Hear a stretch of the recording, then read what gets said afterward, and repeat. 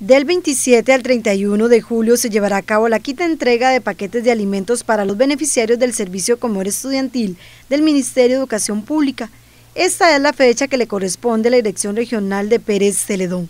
El beneficio será para 30.000 de los 35.000 estudiantes que asisten a las escuelas y colegios de este cantón. En este momento nos encontramos ya en el proceso de la entrega de los paquetes de alimentos. Sería la quinta entrega que se hace a nivel país.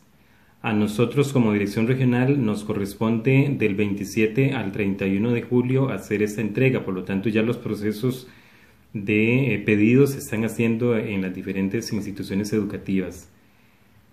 Eh, aproximadamente tenemos eh, unos 35 mil estudiantes a nivel de la región. No es para todos los estudiantes, sino solamente para aquellos estudiantes que están con una beca de PANEA.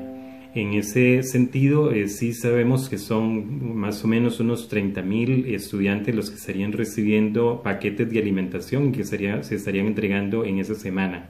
El director regional dijo que toda la logística requiere de mucho trabajo, por lo que solicitó a las personas quienes retiran los paquetes que sigan las indicaciones de los funcionarios de los centros educativos. Los directores y el personal de las diferentes instituciones está haciendo un excelente trabajo en cuanto a la eh, toda la logística para la entrega, la elaboración de los paquetes, la entrega de los mismos y eh, procurando siempre eh, mantener todas las normas de seguridad en cuanto a salud se refiere.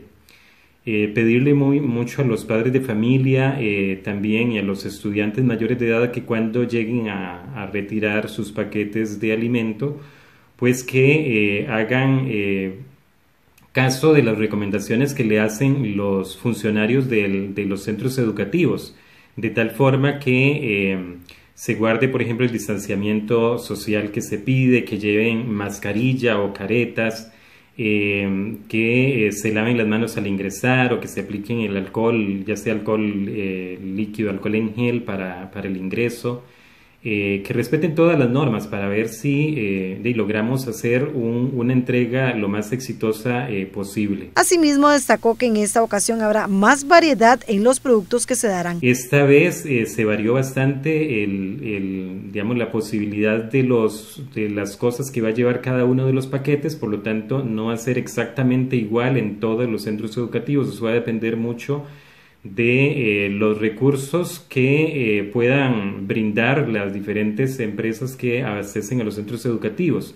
En otras ocasiones habíamos tenido el problema de desabastecimiento de algunos insumos y entonces eh, había que hacer una segunda entrega de parte del, del paquete y en este momento ya se dio un poco más de, de eh, posibilidades para que si no hay de algún producto se sustituya con otro. Entonces, en ese sentido, creo que estamos muy bien. Las juntas de educación y administrativa son las encargadas de velar por la calidad del producto.